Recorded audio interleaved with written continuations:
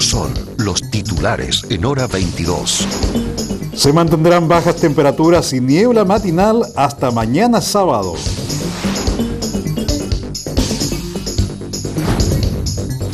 Alumnos del programa Residencia Familiar participaron de charla de violencia en el Pololeo. Gobernadora provincial recibió a joven esgrimista que participó en Sudamericano realizado en Venezuela.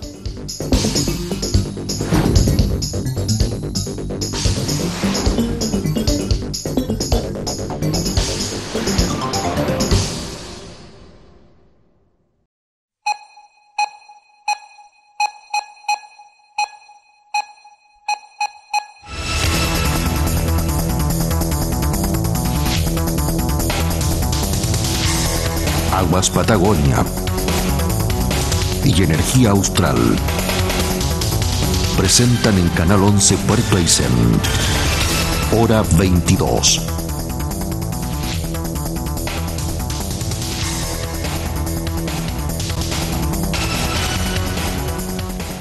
¿Cómo le va? Bienvenidos. Estamos dando inicio a nuestro informativo día viernes ya 3 de julio de este año 2015. Vamos de inmediato a revisar las informaciones.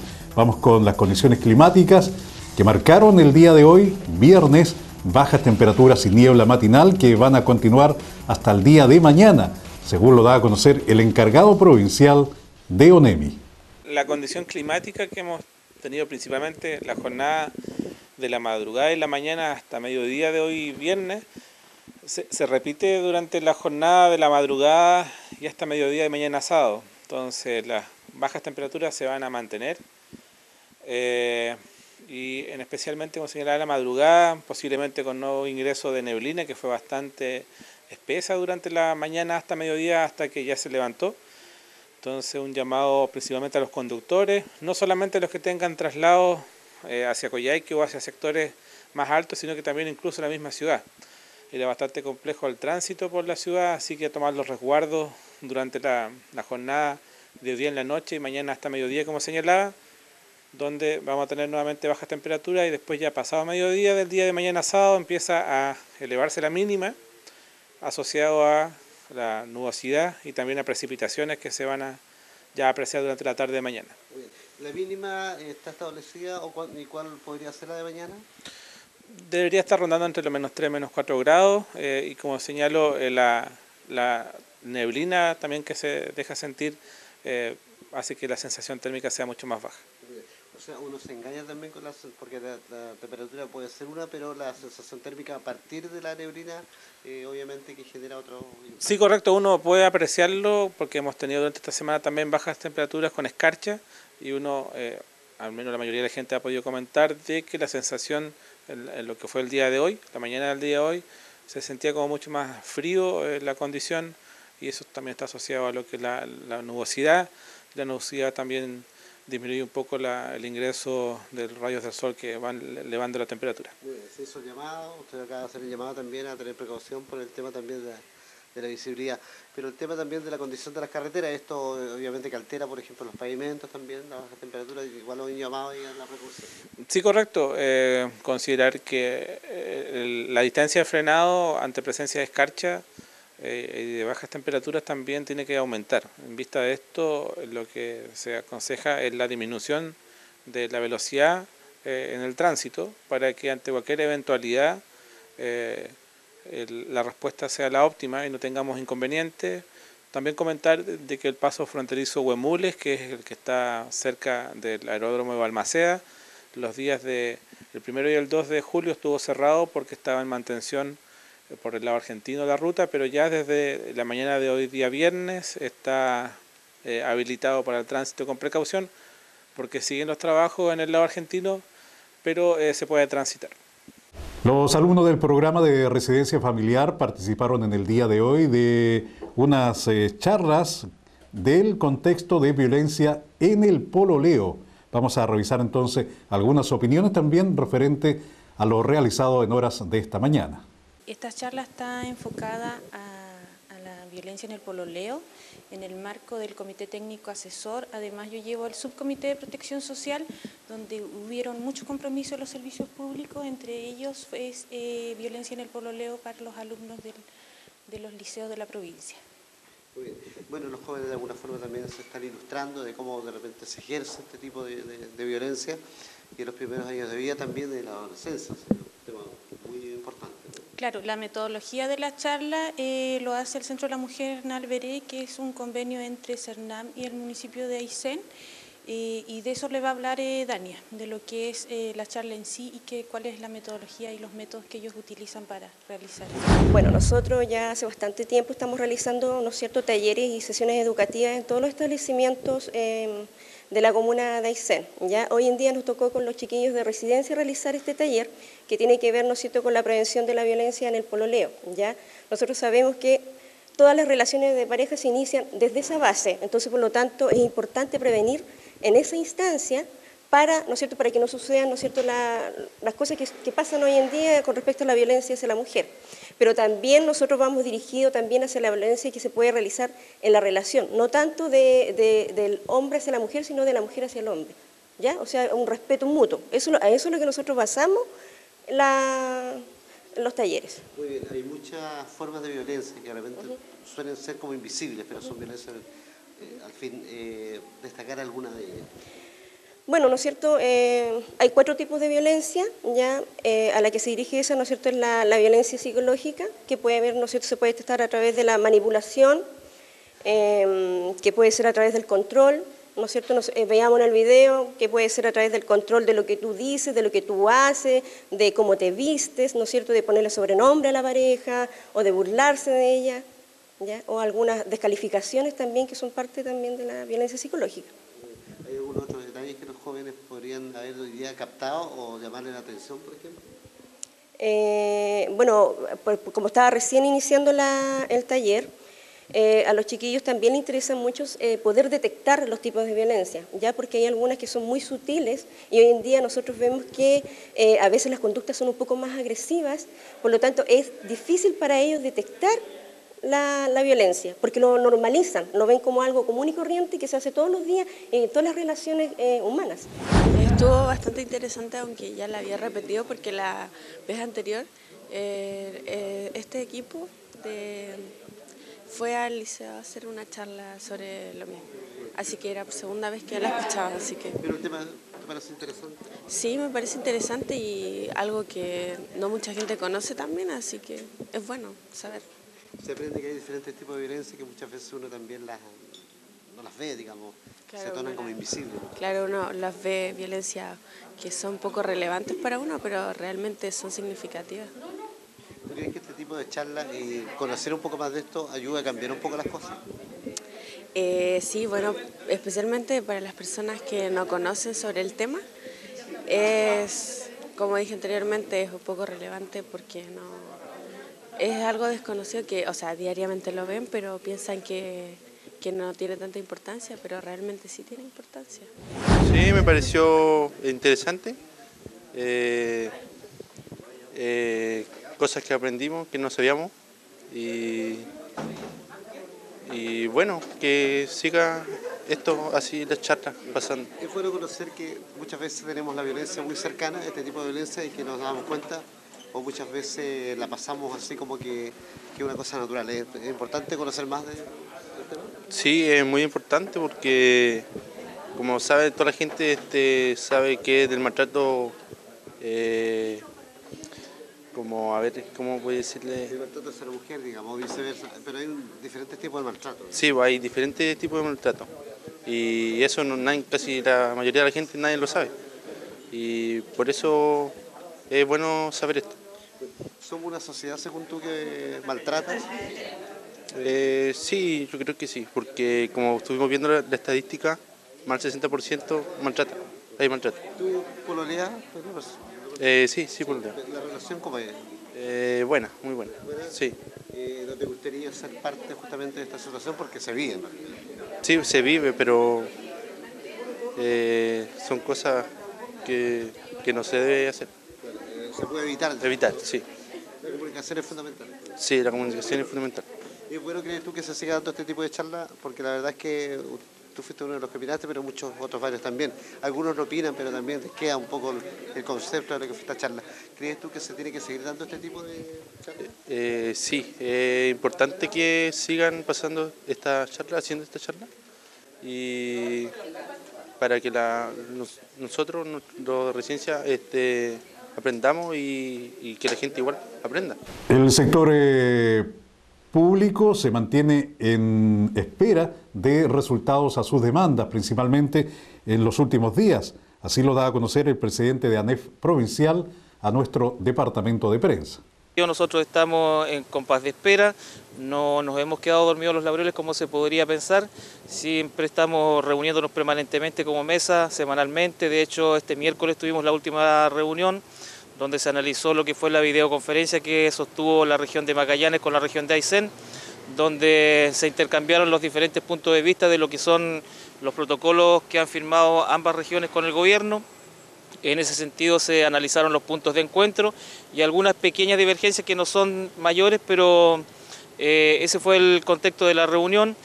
Eh, por otra parte se idearon líneas de acción en el sentido de enviar un oficio al, al gobierno solicitando el estado de avance de lo que fue el compromiso para enviarnos una respuesta el 15 de julio. Y eso básicamente es lo que hemos estado haciendo, eh, manteniendo las permanentes reuniones y en compás de espera de lo que va a ocurrir el 15 de julio. también un viaje a Santiago, eh, ¿se sostuvo o se tuvo también alguna respuesta, alguna eh, situación favorable, digamos? Lo favorable fue la buena disposición que tuvimos con el subdirector de la, de la DIPRES, el señor Rodríguez, quien nos recibió junto a sus asesores, que fueron los, mismos que estuvieron acá y otras personas más. Eh, estuvimos acompañados por los parlamentarios de la región, la mesa del sector público en pleno, regional y la de la provincia de Aysén. Y lo positivo de aquello fue la, buena disposición de esta autoridad en el sentido de eh, entender nuestra demanda y comprometerse a, de aquí al 15 de julio, eh, entregarnos una respuesta y eso es lo que estamos esperando. Nosotros presentamos nuestra, nuestra petición, como toda negociación, ¿cierto? Y ahora el gobierno va a entregarnos una respuesta concreta a esa petición y de ahí en adelante deberíamos continuar trabajando en lo que va a ser la solución que debería implementarse de acuerdo a lo que se conversó en esa oportunidad a partir de enero del 2016. ¿Hubo más afinidad, se entiende, que las autoridades de la región de Aysén? Eh, sí, efectivamente, yo no tengo por qué no decirlo. Eh, una muy buena recepción, una muy buena afinidad, como dices tú, a diferencia de lo que se vivió acá durante ese mes de negociaciones que se sostuvo con, el, con la Comisión Regional, donde yo lo dije ahí en su oportunidad, ahí efectivamente no se avanzó en absolutamente nada, fueron reuniones de básicamente debates ideológicos que no era lo que nosotros planteábamos. Bueno, esta es una gran posibilidad también, ¿no? O por lo menos tener una visión mucho más eh, positiva de lo que pueda venir. Mira, eh, nosotros esperamos que, se abran los caminos para que se comience a trabajar, al menos con las personas que hoy día eh, no tienen nada de, en lo que respecta a nivelación de zona del sector público. Me refiero ahí principalmente a las personas de las chiquillas de los BTF, los compañeros asistentes de la educación, y los funcionarios del DEM. Son ellos eh, los sectores de nuestra provincia que nosotros siempre eh, los mantuvimos ahí presentes para que, si no es con todo, al menos con ellos se empiece a trabajar a partir de 2016. Y ahí, y desde ahí gradualmente avanzar eh, con todo el espectro de los funcionarios públicos que estamos con esta demanda. ¿Qué se espera para el 15 de julio como respuesta? la verdad, personalmente espero de que haya algo concreto, alguna cifra y alguna propuesta que se transforme en ley y que se materialice como hemos estado pidiendo a partir de 2016. Tengo la esperanza de que algo va a salir. La máxima autoridad provincial en el día de hoy recibió a jóvenes gremistas del Liceo San José UR de nuestra ciudad, Gabriel Rojas, quien participó recientemente en un sudamericano de Jirima en representación de nuestra región y país en Venezuela hemos conocido a Gabriel y a su familia eh, haciendo un tremendo esfuerzo para poder representar a nuestra región, para poder representar a Puerto Aysén. Él es un esgrimista de talla nacional, ha ganado ya en tres sudamericanos, ha obtenido eh, medallas y hoy día regresa a la región eh, con un tercer lugar que nos enorgullece, pero también nos deja el planteamiento de qué pasa con, con nuestros jóvenes, que son jóvenes talentos y que requieren no de un esfuerzo eh, que, es sesgado en cierta forma porque hoy día hay un proyecto que lo está apoyando a través del gobierno regional para la compra de los pasajes, el municipio también apoya un poco para, para lo que es la implementación de él como deportista, pero no hay una mirada de cómo potenciamos a este joven en el largo plazo, cómo eh, hacemos que este deportista de alto rendimiento tenga el financiamiento, tenga las condiciones para asistir y representarnos en propiedad. Creo que ahí queda un, tremendo desafío. Nosotros eh, lo felicitamos, nos enorgullecemos, pero también nos deja un sabor amargo eh, el escuchar eh, a su padre los esfuerzos que ellos tienen que hacer para poder estar presentes, porque no se trata solamente de competir, hay que entrenar, hay que vestirse adecuadamente, hay que alimentarse en las competencias con una alimentación adecuada también y eso no está financiado. Y yo creo que la institucionalidad por sí sola no resuelve los temas. Aquí se requiere eh, de una política mucho más efectiva. Eh, en el sentido de que cuando hay estos talentos, cuando hay eh, jóvenes que mm, que a pesar de todos eh, los problemas son capaces de salir adelante, nosotros tenemos la obligación moral, ética como país de tomarlo y darles el financiamiento. Ahí eh, nos hemos comprometido ahora a sostener una reunión con el CEREMI de, de Deporte, con el director del IND, para buscar de alguna forma el que nos hagamos cargo de, de Gabriel en su representación de la región. Él eh, hoy día eh, es eh, la cara en la esgrima, la cara, la cara visible que tenemos como región. Va a participar próximamente en un Panamericano en Perú y queremos que ojalá vaya en las mejores condiciones, no tenga que estar preocupado de los pasajes. Hoy día no se está preocupando porque está el proyecto, pero tiene que preocuparse de la presentación, tiene que preocuparse de alimentarse. O sea, esas preocupaciones no pueden estar en un joven que hoy día está poniendo todo su talento deportivo. Así es que el desafío es a que construyamos una política más eficiente en ese sentido. Bueno, me encuentro bastante bien, bastante feliz, contento por estar nuevamente dentro del podio sudamericano. Y bueno, gracias por el agradecimiento regional y eso. Gabriel, este mm, sudamericano de Venezuela eh, tuvo un condimento muy diferente al resto de los otros eventos que a los cuales, en los cuales has participado. bueno, mayoritariamente fue porque hubo mucha más gente y aparte porque fue como mucho más bonito, más desarrollado. Gabriel, eh, conversábamos recién con la gobernadora provincial, eh, tiene que ver un poco con este reconocimiento que tiene que hacer la región también para que un deportista como tú de elite tengas la tranquilidad de, no estar preocupado de situaciones que no te corresponden, de solamente representarlo y hacerlo bien. Eh, ¿Qué te parece la gestión que puede hacer a partir de aquí la primera autoridad provincial?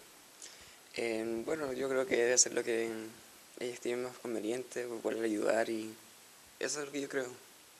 Estoy muy agradecido de la, de la recepción que, que tuvo la señora gobernadora de, de tratar el tema de Gabriel de verlo como un tema comunal, eh, también provincial o regional. Lo que ocurre es que estos niños talentosos, que de verdad que Gabriel no es el único, hay muchos acá en la región, pero que generalmente todos tienen este problema económico de poder desarrollarse, de poder eh, actuar. Si, bien representan a la región, estos niños representan al país, y creo que es indigno lo que tienen que vivir para poder salir a representar a su país, a su comuna. Eh, el tema de Gabriel casi la mayoría de la comunidad lo conoce, estuvo casi dos años sin competir, retomó la actividad deportiva en marzo, han pasado tres meses y ya está en un podio sudamericano, eso quiere decir que tiene las capacidades, el talento para poder ser un deportista de élite. Pero eso se trabaja, no es solo el don, también hay que trabajarlo. Él lo hace solo, no tiene técnico presencial acá en, la comuna, y eso es lo que necesitamos, que que valoren realmente a estos niños, que le tomen el peso, que, se sienten orgullosos de ser aiceninos. En el caso de nosotros somos de Chacabuco, así que eso nos juega más en contra, nos cuesta mucho salir, desarrollarse, pero en la pista el Gabriel es distinto, él se entrega por completo, hace las cosas bien y lo hace por Aysén, que eso es lo más, lo más eh, bonito. El tema del país, eh, la federación siempre trabaja con niños de Santiago. Me gustaría que Gabriel tuviera la posibilidad de ir al Centro de Alto Rendimiento, al CEO. Eh, como le explicaba recién a la señora Paz, Gabriel fue invitado a Venezuela a entrenar, pero los recursos no los tenemos.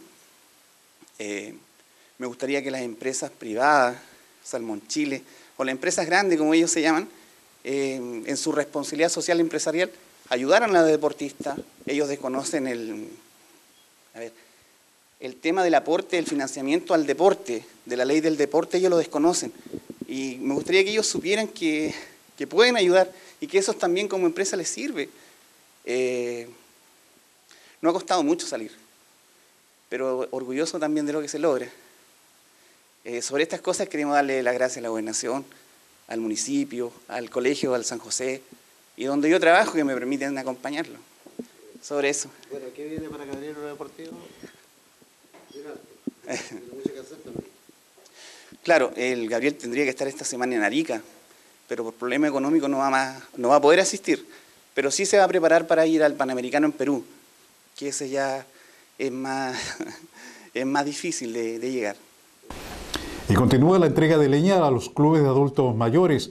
Esta vez correspondió al club Los Años Dorados. Conversamos con su presidenta, Ana Torres Díaz, quien nos da a conocer entonces su opinión en torno a esta entrega de leña en estos días de invierno. Y estamos contentas con todas las abuelitas que nos trajeron leña, pues si eso es lo que queremos, para que nos caloremos. Y nos trajeron 35 metros y nos, nos van a traer 9 metros más. Felices. 21 socias. Sí, 20. ¿Y socias también? No, hay un solo socio nomás. Sí, un solo socio. sí. De... sí, de entre las mujeres que viven en el kilómetro de Chacabuco. Sí. Eh, Presidenta, ¿cómo se va a hacer la modalidad de entrega de la leña? Eh, se va a hacer, se va a medir eh, dos metros le corresponde. El día sábado se va a entregar hasta donde alcance la leña, mientras llegue el resto. Muy bien, después hay, si falta leña, entiendo que hay también la, está la coordinación también para con CONAF poder resolver lo que falta. Ah, sí, pues, sí, eh, con los nueve metros que nos traigan ya estamos totalmente ya, todas las abuelitas. Sí. ¿Está satisfecha un sorteo para poder llegar? Ah, sí, pues, feliz. Ayer nosotros tuvimos reunión en la gobernación, sí, pues, y, y después empezaron a hacer los números y cada uno sacaba el número. Y yo saqué el número y saqué mi club sí, sí, la, segunda Claro, sí, sí, sí, sí. Ya, eso sería, pues muchas gracias. la rapidez de la entrega? Ah, buena, pues buena. Sí, pues estamos contentas, la abuela más contenta, la abuelita. Sí, pues porque hay muchas abuelitas que ya son viejitas, más que nosotros. ¿Han tenido mucha complicación por la entrega y demora también? Sí, sí. No tanto, sí, demora porque después tuvimos que pagar nosotros y, y cobran caro, pues los camiones. que pagarla Sí, pues tuvimos que ir a pagar para que nos traigan el resto de la leña, porque nos trajeron un poco de leña nomás. ¿Y ahora cómo va a ser la modalidad cuando vayan a buscar? ¿Ya no tienen que pagar? No, no, ellos lo van a traer, dijo la señora Inés, que van a hablar para que lo traigan, o sea, hasta acá.